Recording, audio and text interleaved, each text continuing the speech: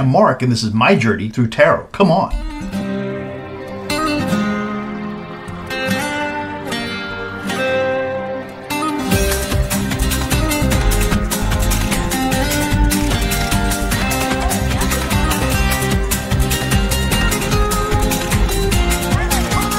current events today, just whatever comes to my head. And uh, whatever the title of this video will be is something I've determined after the video because I didn't go with, it, with any ideas. So it's going to probably be political, I'm going to guess, because that's kind of where my head's leaning. But whatever it is, I hope you like the video. If you like the video, please do like the video. And if you haven't uh, subscribed, please do subscribe. And thank you very much for watching.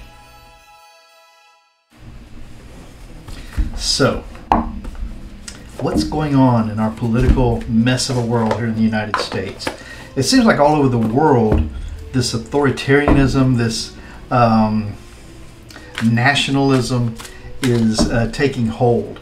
And uh, lots of uh, it, it hasn't worked out very well for Britain. Remember, they said, "Oh, Brexit, we don't want that. I mean, we don't want to be part of the European Union. We just depend on ourselves." And what a mess that has turned out to be. Nationalism. Um, all the other countries. I mean, uh, there's stories about folks who have actually left normal folks, not like rich people or, or people who have money to travel, but normal folks who've left a country. One fat guy took his company, his family to Belarus. Okay, Belarus is the puppet of Russia. The president of Belarus is in uh, Putin's uh, pocket.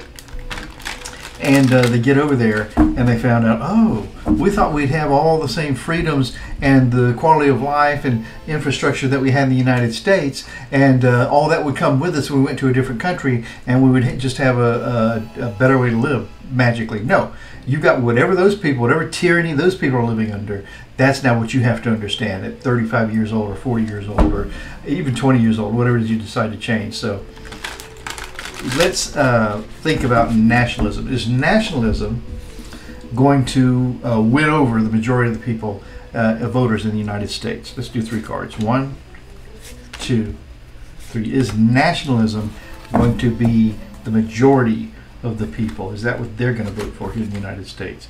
Well, it starts out with this uh, Nine of Pentacles. This is a very privileged person. Uh, they're rich in, in value or money. And uh, so this is what nationalism maybe looks like to them. The challenge of it is the Queen of Cups. It's a very compassionate issue. It's uh, right up there next to the King. And then the next card up is the Knight of Cups. So it's all a very uh, compassionate, heartfelt situation that someone's willing to fight for, though they're not getting anywhere in their fight. So nationalism, they feel like that's where the value is. It's a heartfelt situation for them, almost as important as a king, but it's a queen. And um, there's a fight involved that they feel is a heartfelt, important fight. Uh, two more cards for nationalism. Is it going to take over?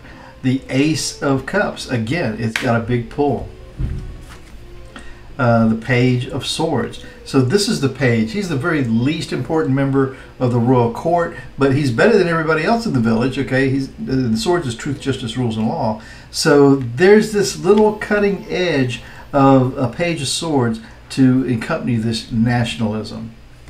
One more card, and the final card is now nationalism uh, will eventually die because at the will of truth, justice, rules, and law. So it carries an awful lot of importance right now in the world. People think I am the most important. And it's a heartfelt, almost a kingly, but it's a queenly amount of uh, activity that, that uh, or motion that brings them to that decision. They're willing to fight for it. It's the most important thing in their life, but they don't realize they're not the most important thing in their government's life, and it will eventually die. So nationalism has got a ways to go, but uh, it won't uh, rule the roost in the long run. Um, what about all these, without naming them, all these members of Congress who really just throw themselves behind, I mean, they welcomed him, uh, 34 times convicted felon, they welcomed him into the very chamber that he led an insurrection against. They welcomed him there. Are these these types of Republicans, are these types of politicians uh, going to last? Are they going to uh, make things work out in the long run? Three cards. One, two, three. Let's see. Well, the Empress card. Um, again, this is telling me that um, no, you know what? This is the Empress card. So this is compassion and emotion, and this is who's really ruling the roost behind the scenes. The challenge to that is judgment. Judgment is coming to those uh, folks that we're talking about. And uh, the fool is that they are a fool, but there's a new journey coming up uh, for that Republican Party to uh, uh, pay attention to. Two more cards is uh, the Knight of Cups. I love it when cards repeat because it tells me the cards know how I'm going to read it, and so they agree to repeat that card. And this tells me there's a fight for that value, for that emotion. And the High Priestess. So the High Priestess gives us, and it's beautiful to get the High Priestess along here with Judgment and uh, the Empress card right here, uh, because she gives us the she gives the reader the uh, authority to interpret. Um, uh, her um, showing up in this reading as I would. And I think it all has to do with goodness and hope. And then the final card is this Five of Cups. All of this won't come without some loss, some sorrow, some emotional feelings.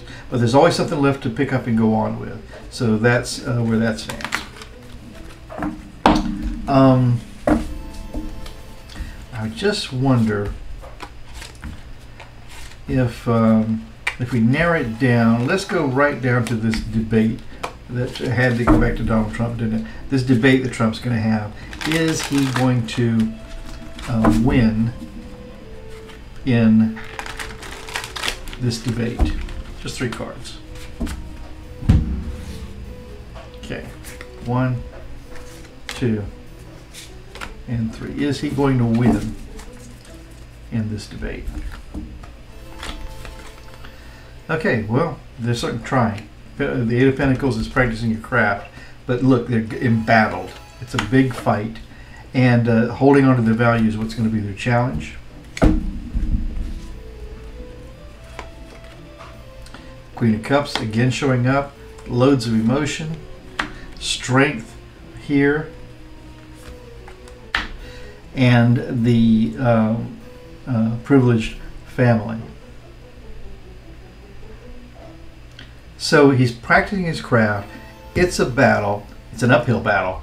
Um, the challenge is holding on to his value.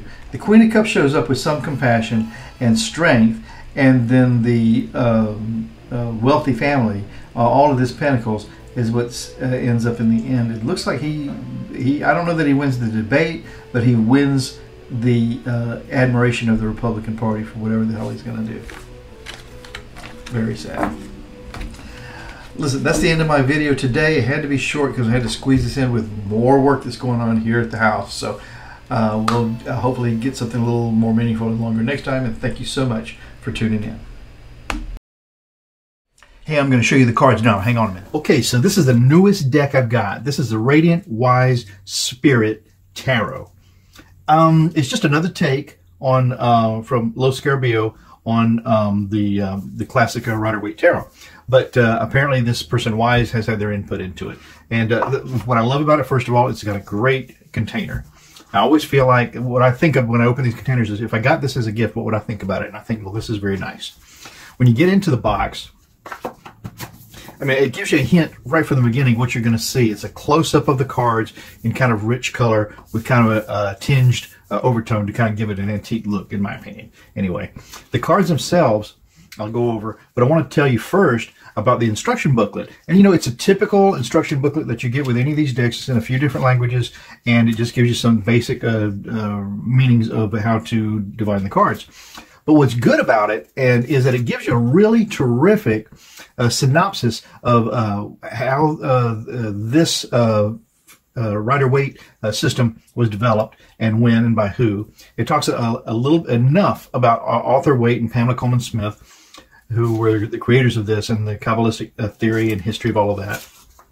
Um, it is, uh, gives you a real quick mention about the Golden Dawn, which is very significant to the development of these cards. And then it gives you a really great little section about, about how to read the tarot and storytelling through the, the cards. So I like the little book. I mean, it's nothing earth shattering. It's not information that most people don't know, but it is uh, interesting.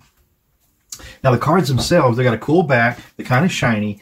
And um, you're going to see that kind of what they are is like they've kind of made a close up of the typical tarot uh, images and then colored them in very vibrantly and then oversprayed the whole thing with sort of an antique kind of a, a feel.